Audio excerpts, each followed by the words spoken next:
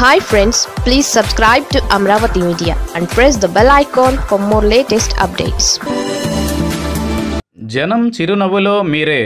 జగన్ భావోద్వేగం. ఏపీలో దివంగత ముఖ్యమంత్రి వైఎస్ రాజశేఖర రెడ్డి జయంతి సందర్భంగా వైసీపీ ప్లేనరీ నిర్వహించుకుంటోంది. అదే సమయంలో కడప జిల్లా పులివెందలలోని ఇడుపలపాయకి వెళ్ళి తన తండ్రి వైఎస్ఆర్కు సీఎం జగన్ నివాళులు అర్పించారు. ఆ తర్వాత సీఎం జగన్ తన తండ్రిని గుర్తు చేసుకుంటూ భావోద్వేగమైన ట్వీట్ పెట్టారు. నాన్న మిమ్మల్ని ఆరాధించే కోట్ల మంది చిరునవ్వుల్లో నిత్యం మీ రూపం కనిపిస్తూనే ఉంటుంది.